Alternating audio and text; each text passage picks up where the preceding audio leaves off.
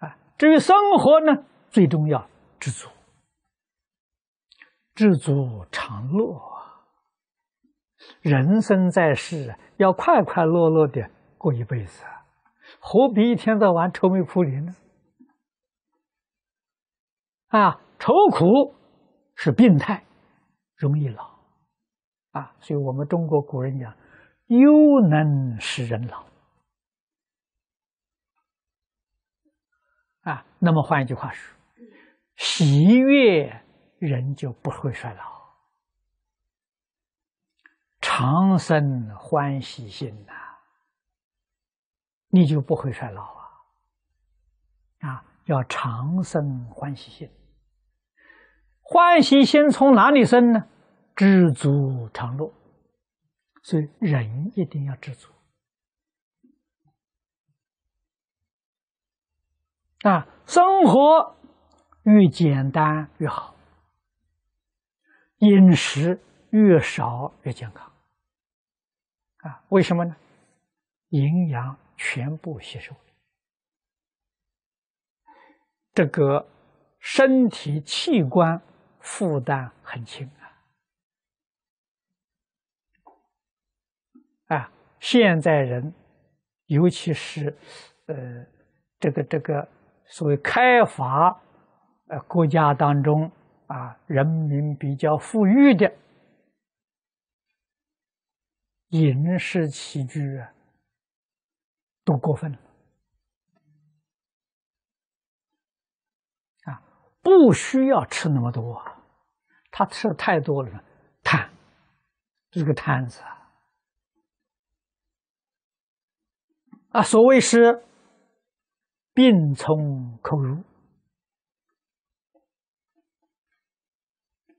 啊！饮食本来是养生一种方式啊，但是你如果是贪了、过分了呢，这就变成病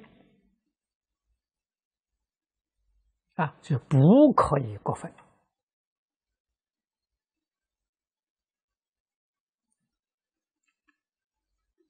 修道人，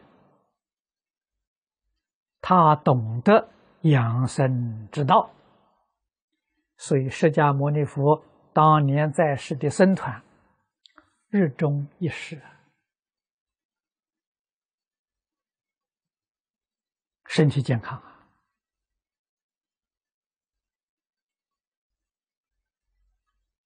啊，吃的东西非常简单。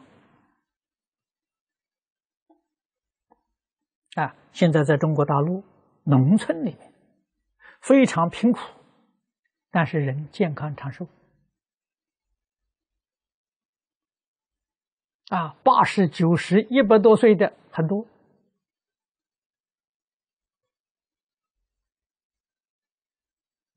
啊，许多外国是专家学者到里面去调查，找不到原因。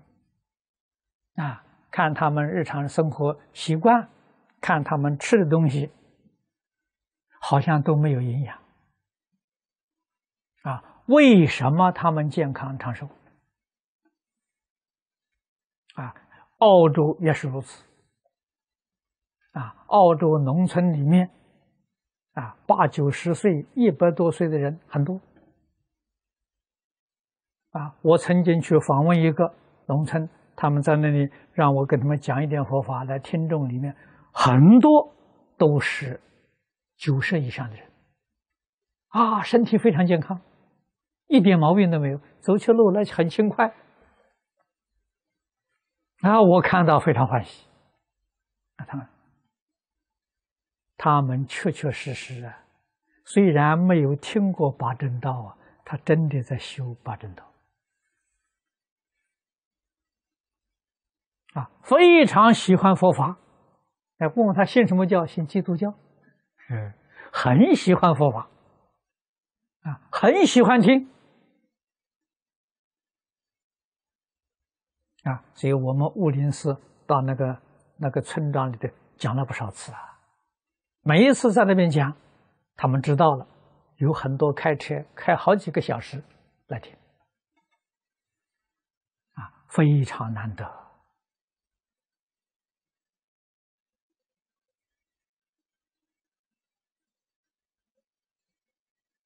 啊，所以他们这个养生之道啊，是纯正的啊，叫正命啊啊，正命里头还有一个重要的意义，就是我们选择。谋生的行业要对社会众生有利益的，这是真啊，决定不能够啊伤害社会啊，伤害众生啊。那么由此可知。杀生这个行业不是真命，这是邪命啊！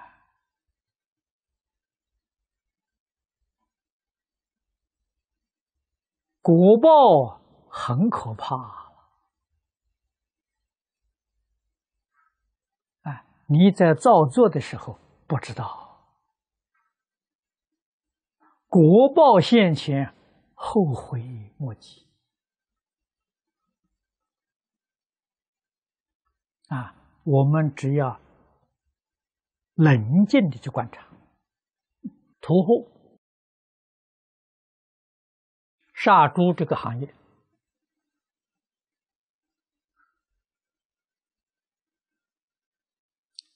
到他老的时候，你看他的那个形态，就像一个猪一样。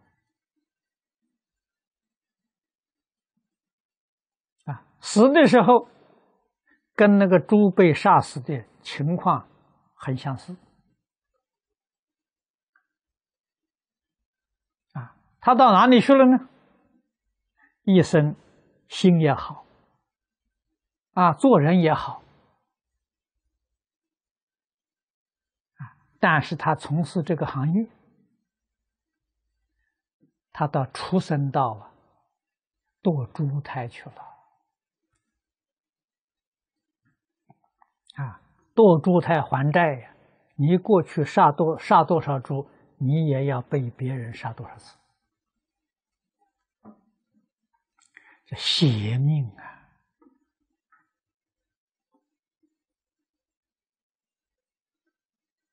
啊，现在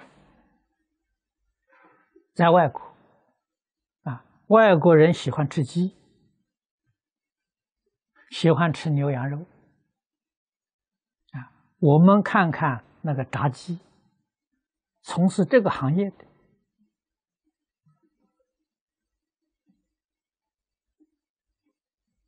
啊，他所养的小孩啊，哎，就像鸡一样。哎，你仔细看，很可怕了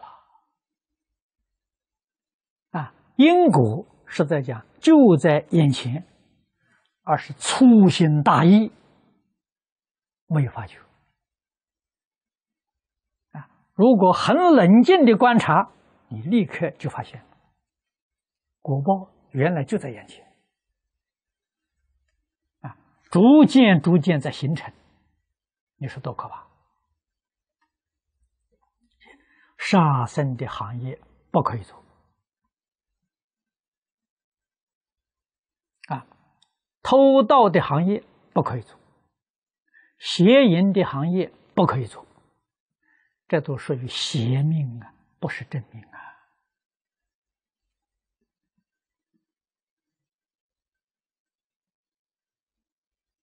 啊，证明的标准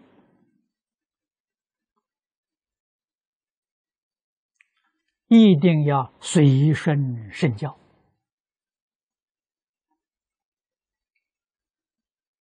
啊！佛在经典上教导我们，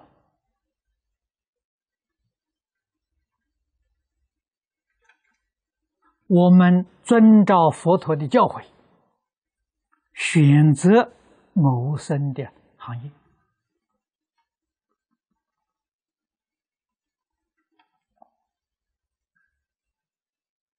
啊。最殊胜的证明，往往啊，我们世间人所讲的清高啊，啊，清清贫，所以讲知足啊。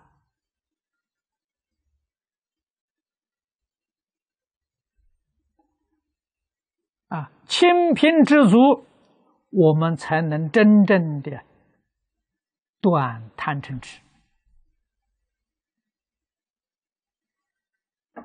啊，如果不能够甘心忍耐贫苦，人会增长贪心。啊，从贪心连带起来的贪嗔痴慢，全都起来了。啊贪是根呐，所有烦恼的根本呐！